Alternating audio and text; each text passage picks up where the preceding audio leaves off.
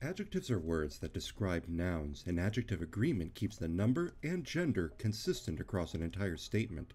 Unos carros rojos y elegantes, all masculine, all plural, all the way across. Adjectives must match the number and gender of the noun that they're describing.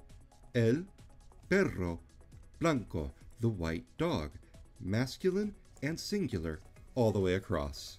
Watch out for tricky exceptions. Un señor optimista ends with an A, but it's still masculine. Un libro interesante doesn't end in an O or an A, but it's still masculine. Un hombre alto. Una mujer delgada. Unos niños interesantes. Unas estudiantes buenas. Your adjective must match the number and gender of the noun being described. Watch out for exceptions like optimista e interesante.